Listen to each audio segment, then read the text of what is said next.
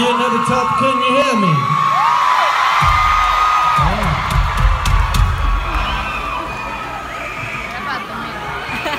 Thank you for coming to our show. This is our favourite thing to do, so thank you for being involved. We love it here.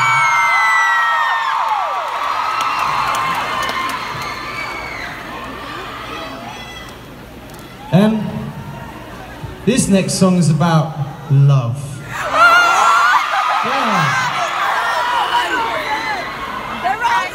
And the thing is, I feel often that I'm preaching to the choir a little bit because when we go on tour, what we see really is, is kind of a, a cross section of liberal young America, which maybe not the all of America. But that's what we see. So I don't need to teach you about compassion. You understand how important it is, especially at the moment. But the one thing I want to say is that if you um, I want, I just want to dedicate this song in particular to the LGBT community. For, yeah, yeah.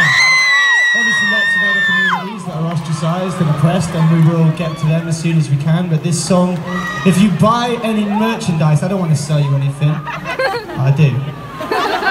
But if you buy anything that is remotely affiliated with the LGBT community, anything remotely gay, anything with a rainbow flag on it, the proceeds will go to LGBT charities, so it's a good thing to do.